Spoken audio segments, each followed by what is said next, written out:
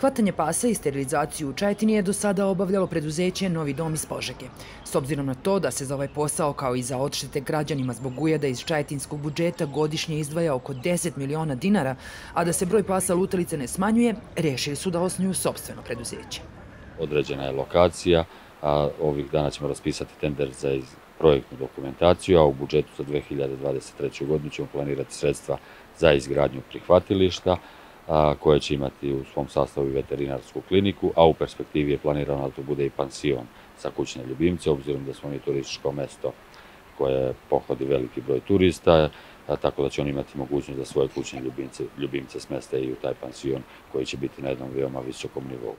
Predviđeno je da se psi zbrinjavaju na prostoru rekultivisanog dela nekadašnje deponije Bregovi na Zlatiboru. Na drugoj strani, Užice ima stari projekat izgradnje azila, ali već godinama traga za lokaciju.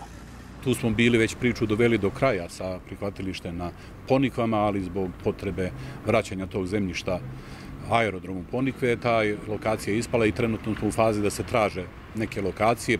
One, da kažemo, postoji nekoliko tih lokacija u igri, ali potom, potom pošto za to trebaju i neki drugi preduslovi utvrđeni zakonu koji ne utvrđuje sam grad, nego i nadležna sanitarna veterinarska inspekcija.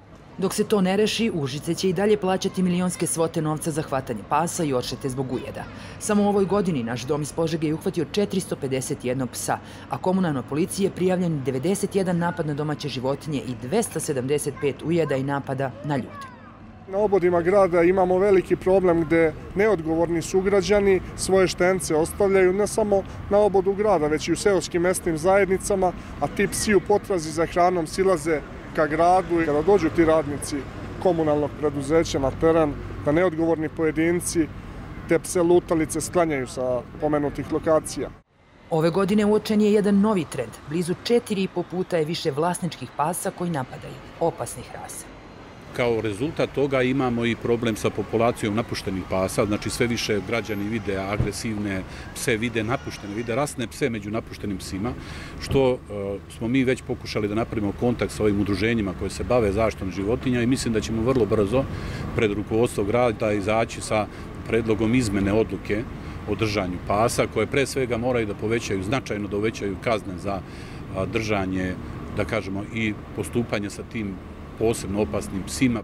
Naš dom iz Požege nema dovoljno kapaciteta i jedino trajno rešenje je izgradnja azila za pse na teritoriji Užica. Neophodno je izvršiti obuku o socijalizaciji pasa kako bi građani shvatili kakve obaveze imaju prema ljubimcu. Poznavaoci pasa pak objašnjavaju da je ipak najbolje rešenje sterilizacija pasa i vraćanje u grad, jer su oni teritorijalne životinje. Tako mirni nikom ne napadaju, a ujedno čuvaju teritoriju od novih kućnica.